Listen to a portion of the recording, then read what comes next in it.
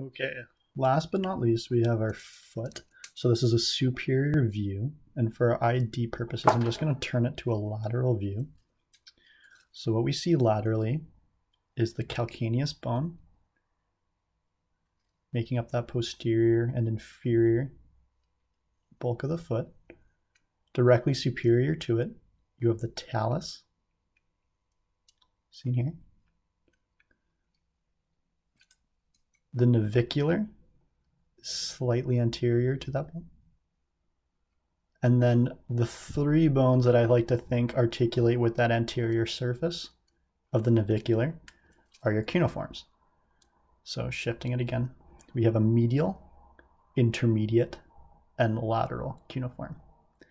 And then the fourth, if you like to think about it that way, is the cuboid of that row. So that's the cuboid, lateral, intermediate, and middle cuneiforms. Moving distally again, we now have our metatarsals, and they're numbered from the big toe being number one and your pinky toe being number five.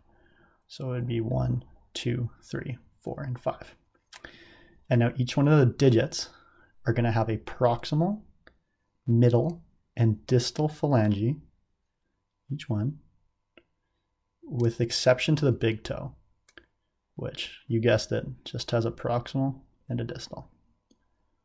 So now I'm just going to quickly review it again, but this time from the medial aspect. We have our calcaneus shown right here. Our talus, our navicular bone, our medial cuneiform, intermediate cuneiform, lateral cuneiform, and the cuboid.